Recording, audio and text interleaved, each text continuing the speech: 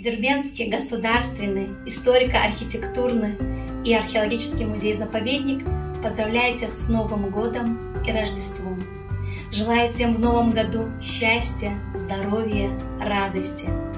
Пусть год тигра окутает всех любовью, добротой, заботой и подарит чудесные мгновения. Сегодня мы проведем мастер-класс по изготовлению рождественского ангела.